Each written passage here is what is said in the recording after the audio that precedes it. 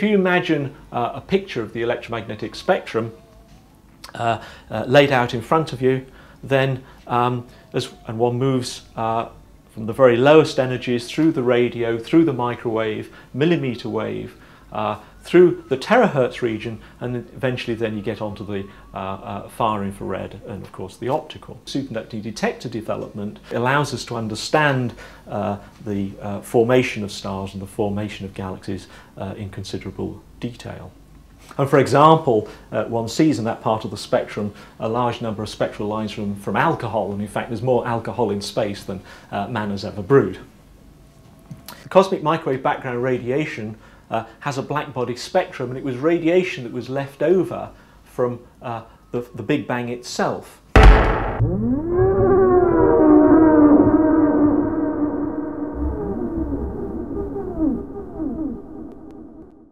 And that radiation has uh, remained largely unchanged in form uh, since the uh, beginning of the universe.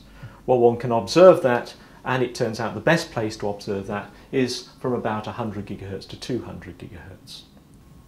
So what we need to do is to um, find some way of developing uh, technology for uh, this frequency range between 100 gigahertz and 1 terahertz. So 100 gigahertz corresponds to a wavelength of uh, 3 millimeters and 1 terahertz to uh, a wavelength of uh, 300 microns.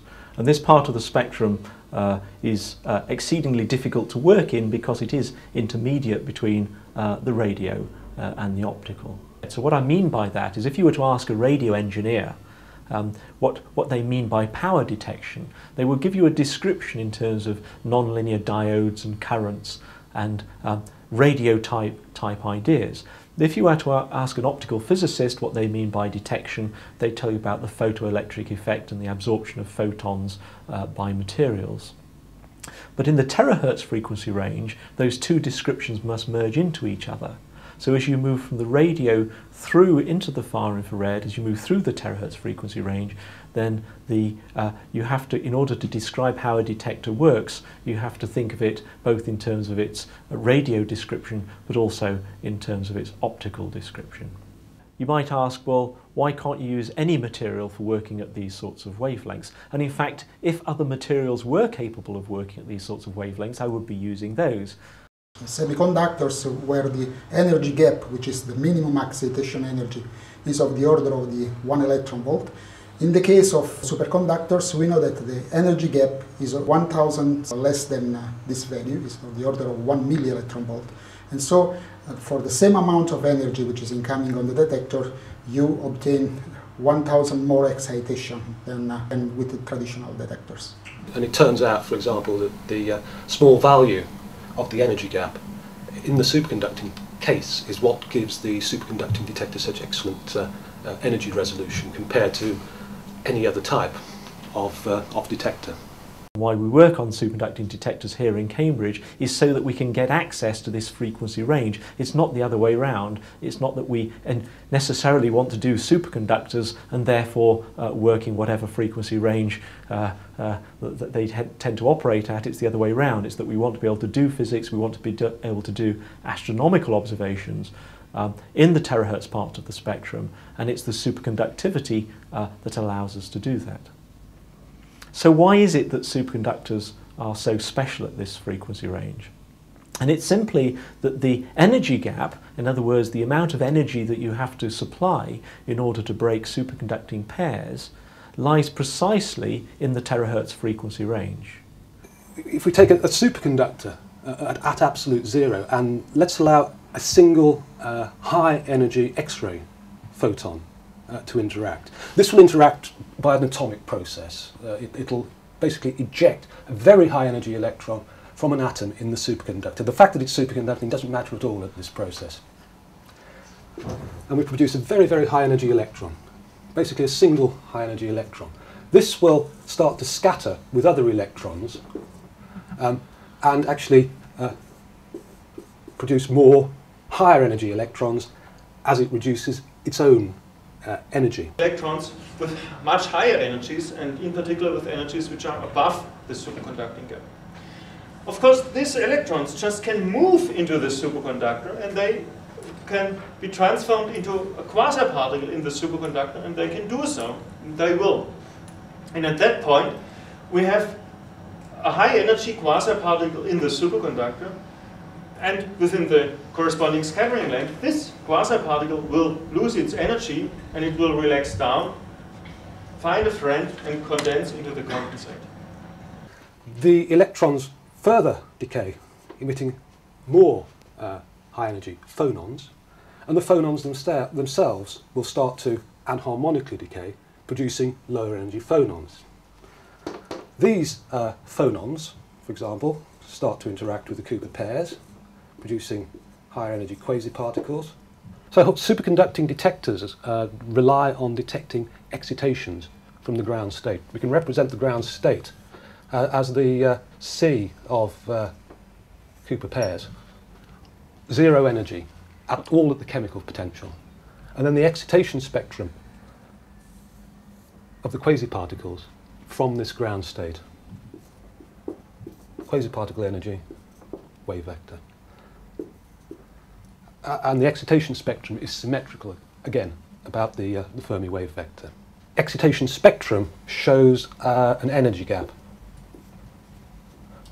between the Cooper pairs and the first allowed states for the quasi-particle excitations.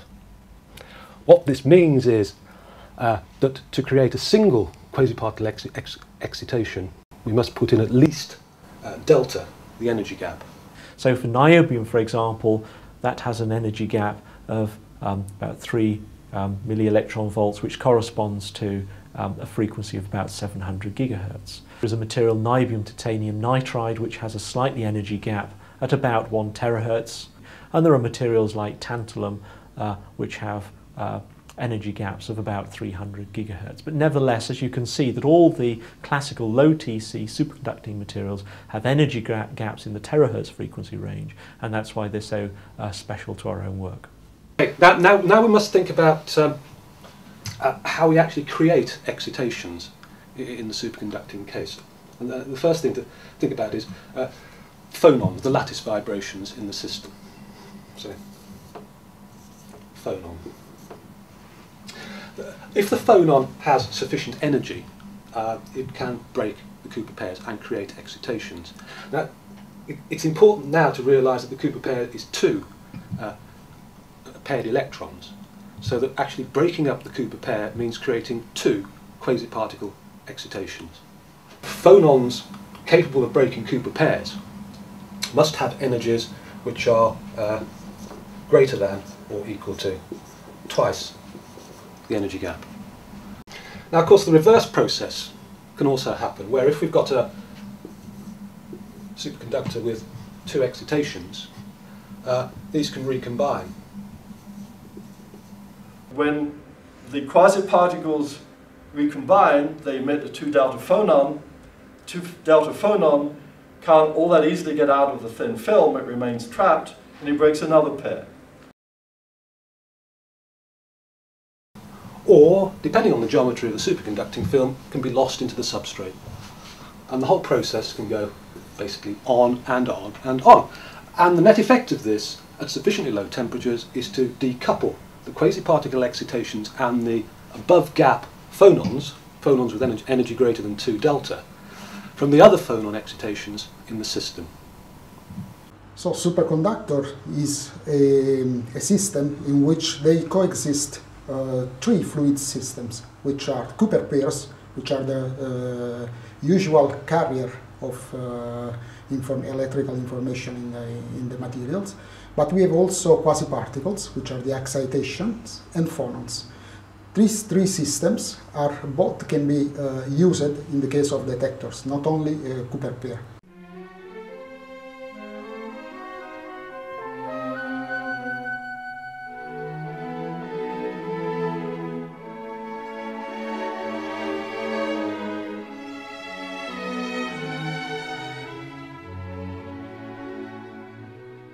So what we need in, in, uh, in practice is to destroy Cooper pair by the incoming radiation and produce excitation, which will be, of course, quasi-particles or phonons. And we have to measure these quantities.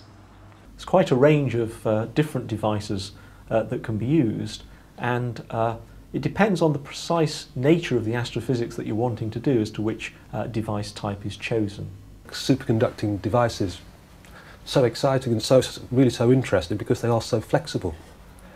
Um, the basic detector has to consist of uh, an absorber and a sensor, and then some way of reading out the signal from the sensor. Of, of getting energy into the superconductor depends on what we're trying to measure, what quantum we're trying to measure. Is it an X-ray photon, optical photon? Is it a massive molecule? Is it uh, an RF field? Uh, the details of how energy from these uh, sources interacts with the superconductor and then uh, produces measurable quasi-particle excitations varies to some extent depending on the, the, the, amount of energy and the type of energy which is going in. So for X-ray systems, say, where X-rays have uh, long uh, penetration depths into materials, you need a large volume of material to actually capture the signal.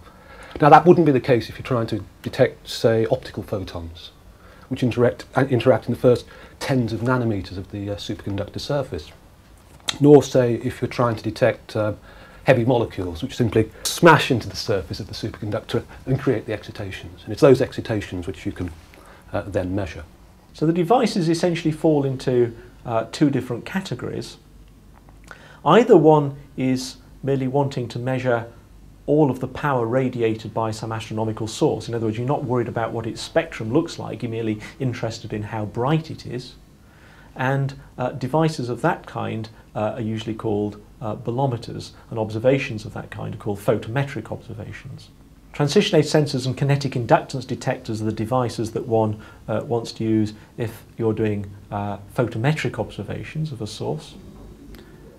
If you want to actually uh, make a spectral, spectral line observations, in other words, you're interested in uh, the detailed, detailed spectral information which is within the source, or if you're wanting to build an astronomical interferometer, so if you remember, an astronomical interferometer consists of a number of telescopes which are separated by either tens of meters or in some cases hundreds of meters and kilometers. Then what you have to do is to be able to bring the signals from different telescopes and combine them in order to build up a full interferometer. So if you're wanting to either do spectroscopy or interferometry, then you need to use uh, a different kind of device and here we use uh, the uh, SIS mixer or superconducting insulator superconducting tunnel junction mixer.